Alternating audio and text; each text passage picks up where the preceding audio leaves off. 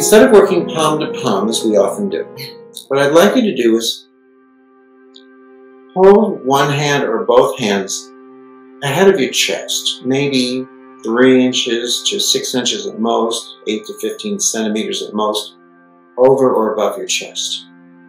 Holding your hands still, without moving your hands at all, in other words.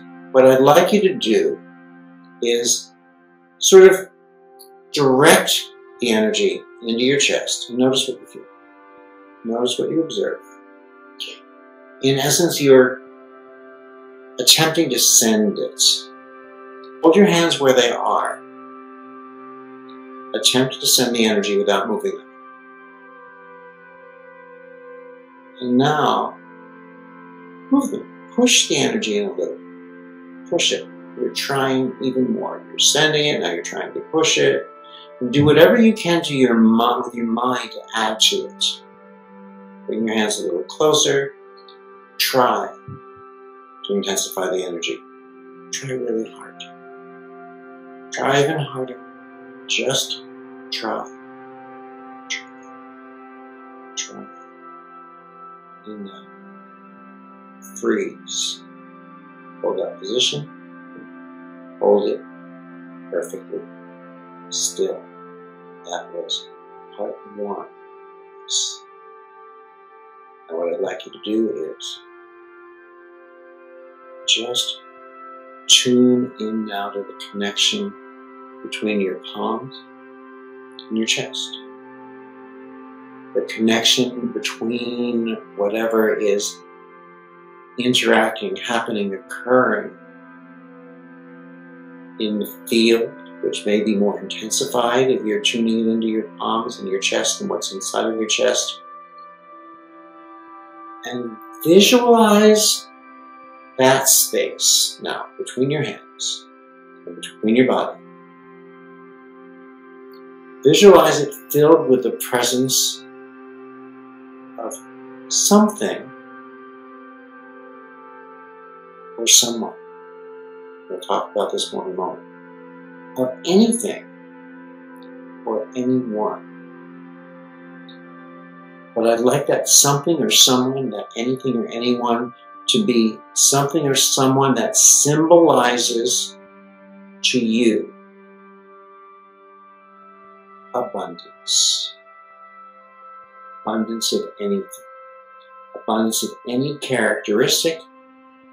Sure, it can be financial abundance, and yet how about abundance of some of the terms we've reviewed before? Love, of health, of happiness, of confidence, of clarity, of certainty who and what symbolizes that for you and maintain that connection with that person or with that concept between your hands and your body.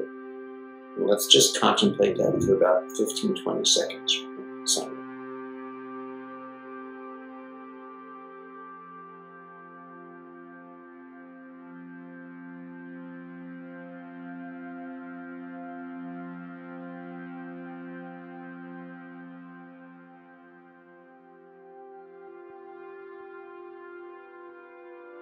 Now, we're holding this thought and maintaining that connection. What I'd like you to do is slowly, slowly, slowly, just maybe a centimeter at a time, start to pull and stretch your palms away from your chest, away from your body. The sensation in your hands may begin at a minimal level. You may start to allow it or notice it intensify, expand. As the sensation expands, can we allow our awareness of these qualities, these characteristics, these traits to expand? Can we sense the presence of that person if we've chosen to elect a person who personifies these characters and qualities to expand with us, if you envision that person who represents abundance to you in this space, do they become smaller, weaker? Do they wither? Or do they grow larger? Do they expand? Do they become more presence? You know, the characteristics, the qualities and traits that we think of, can you recognize that they truly represent you?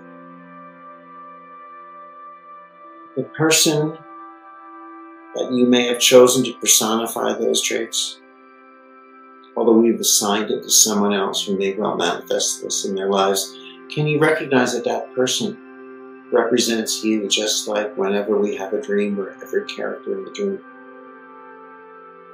Let's open up. Let's open outward. Let's step into this awareness of our own expansion. Observe the frequencies, the energy, the light, and information wherever we move our hands. Take it from your body, as Jillian's doing already. Move around. Can you experience the energy, the light, the information? Can we recognize it as the language of this reconnective healing intelligence? Can we recognize it as a true romance language. Does it contract? Does it expand? Does it reach less? Does it reach more? Does it disappear? No, it speaks more clearly.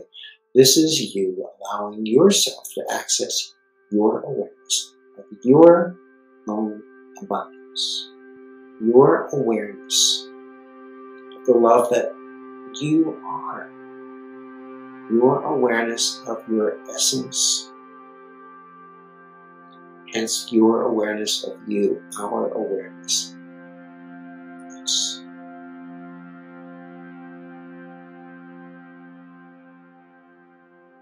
By the way, if you want to play with this, it's not about palms in front of your chest. It's about awareness that can come anywhere. We're used to initially detecting sensation, sensorial awareness through our hands. So I started with that. Chest is an easy way to move away from palm to palm.